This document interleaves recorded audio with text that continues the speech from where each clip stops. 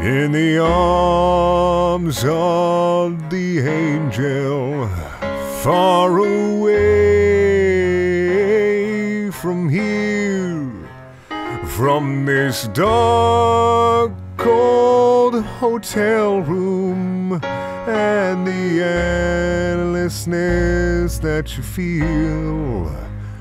You are pulled from the wreckage of your silent reverie.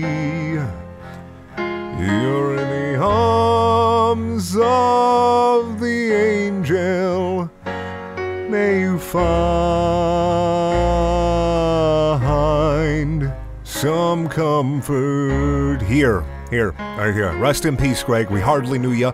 I, uh, I don't like you. You're never coming back. You're going into the hole. You're done.